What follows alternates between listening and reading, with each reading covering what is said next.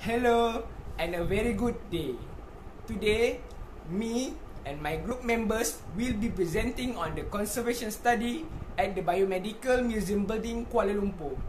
Firstly, I would like to introduce you to the members of the group including myself, Deni Iskandar Hakimi bin Muhammad Roshidi, Anis Sahira binti Baharudin and Farah Nadirah binti Muhammad Azlan.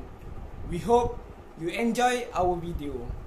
Are required to do a study at the Biomedical Museum building, including the background, location, sun orientation, and adjacent building. Other details such as traffic flows and site facilities should be also able to be obtained through the study. Not only that, the architectural aspects of the building should also be able to be identified. In addition, we are required to do building condition assessments toward this building in order to identify the major and minor defect in the building. The building defect analysis can be obtained through the study. We are also required to do a proposal for adaptive reuse of the building. The SWOT analysis in order to propose the suitable adaptive reuse should be analysed.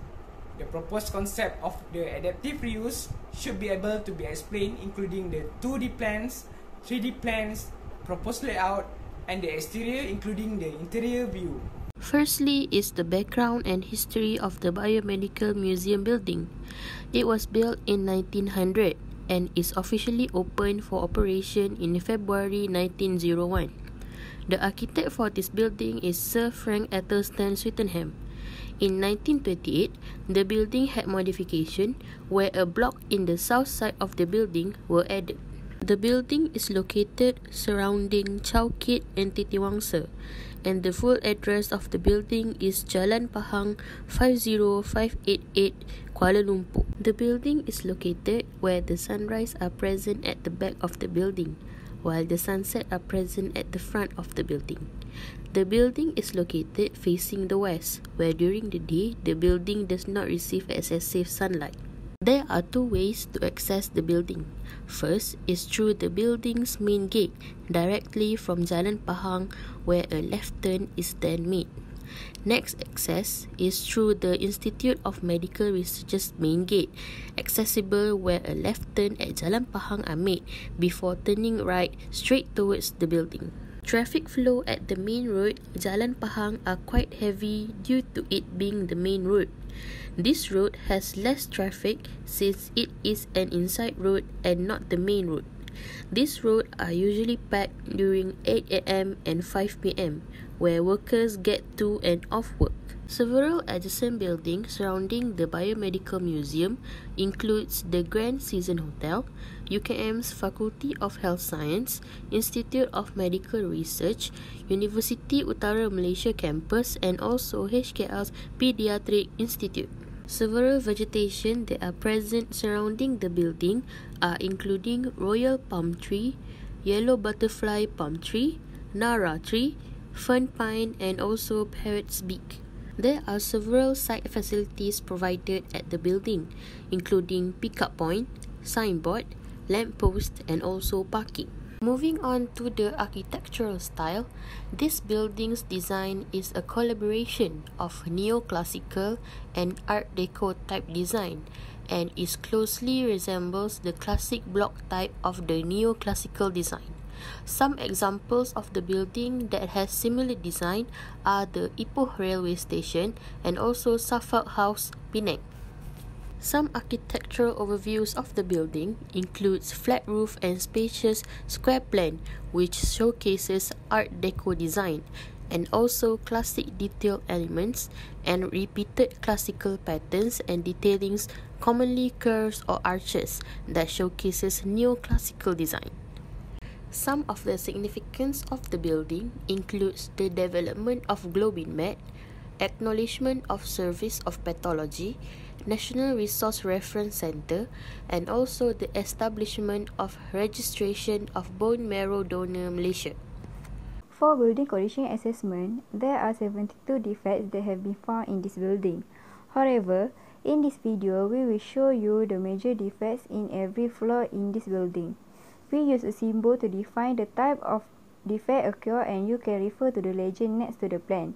And the color of line is dedicated to the condition of defect which is red, yellow or green. In mezzanine floor, there are a major defect which is stemma and peel of paint at the wall. The possible causes of this defect is due to the dampness and leaking at the roof space. Next, at the first floor, there are two types of major defect occur, which is firstly is stemma and peel of paint at the wall due to dampness and leaking from ceiling. And the another one is deterioration at window frame due to exposed to the weather. Last but not least, at the ground floor, there are four types of major defect occur in this building. First is a gap at the ceiling due to old age of material. Next is a peeling of paint at the wall under the sink due to exposed to the dampness and also leaking of pipe.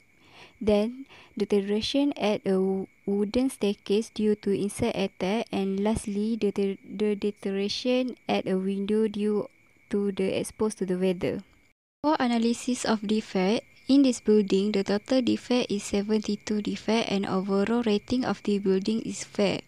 This building, which is Biomedical Museum, the most defect that can be found in this building is peeling of paint and stomach. It is due to exposed to the weather, leaking and old age of material. The second most defect that can be found is deterioration due to exposed to the weather and insect attack. This defect can be found at wooden staircase and window frame. This building just have a serious intention defect at the mezzanine floor due to dampness and leaking at ceiling. The conclusion that can be made is the maintenance in charge of this building should improve the maintenance work. It is to ensure the building can perform well which fits their purpose of the building as a biomedical museum. Now, moving on to the measured drawing existing building plan. At the roof plan, we can see the type of roof that used for this building is a flat roof. And there also have a small space which is mezzanine floor which is same level as a roof level. For the first floor, mostly space at the first floor used as a lab, which is toxicology lab, microbiology and also biotechnology lab. And they have also a gallery of historical gallery and snack gallery. And also have a small office and a toilet for the worker. While at the ground floor, the most of the space used as a gallery space to show the visitor about the medical tools and equipment as fit as its function as a museum. Next, there are four elevation plans for this building which is front elevation, rear elevation, left elevation and right elevation. In this building, there are 14 types of window which every type have different design and size. Next, the design concept of the building. While we preserve the building's exterior, including its color, due to its heritage title, the interior is modified and improved from its design. For the interior, the concept of capsule hotel integrates a modern design with a simple color palette of black and white, while maintaining the building existing asymmetrical compositions. It employs a sleek and simple aspect in the building design, detailings, and elements. Next, the SWOT analysis. The SWOT analysis of the existing building that requires us to do a proposal for adaptive reuse of the building. Firstly, the strength. It has a good location of the building, which located at the center of the city. It has a modern building design and detailings despite the old age. The building design and detailings inspired by the neoclassical and art deco design, which is high in aesthetic value. Secondly, the weakness. It prone to the heavy traffic during the rush hour. It has a limited attractive scenery surrounding the building which can washes out the appearance of the building. Thirdly, opportunity. The building visual can be improved by using the more attractive colors. The buildings can be reused as an attraction to the visitors as the building is located strategically at the city. And the last one, is the threat.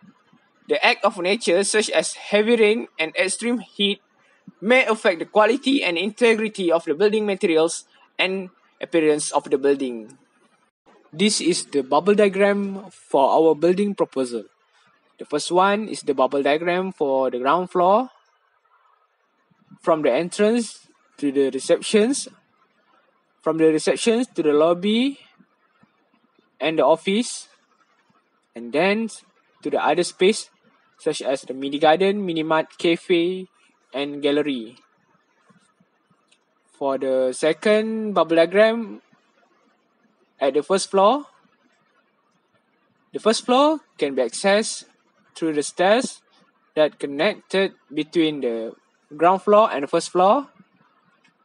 The first space for the first floor is the entertainment area. From the entertainment area, it can be accessed. Go to the capsule rooms, or to the office, or to the reading rooms. This is the floor plan proposal for the cozy capsule.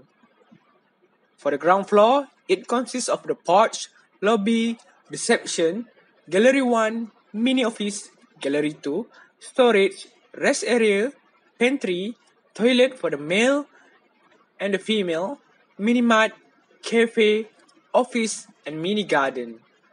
For the first floor, it consists of the entertainment area, head office, office, meeting room, reading room, toilet, laundry room, musola for the male and females, including the capsule room for the female and male.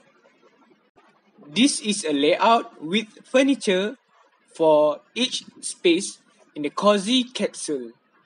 The first picture shows the layout for the ground floor, while the second picture shows the layout for the first floor. This is the building plan for the cozy capsule proposal. It consists of the front elevations, rear elevations, left elevations, and right elevations.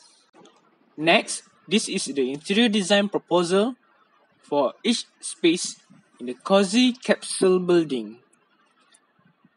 For the ground floor, it consists of the office, lobby and receptions, mini office, gallery, storage, rest area, pantry, mini mart, cafe, and toilet. For the first floor, it consists of the meeting room, office, entertainment area, toilets, capsule room for the female, and capsule room for the male, musola, laundry, and reading room. This picture shows the bird eye view for the exterior of the building. There are some interior view for the before and after of the some space. Firstly, the existing library will be changed into the cafe. Secondly, the existing open space will be changed into the gallery.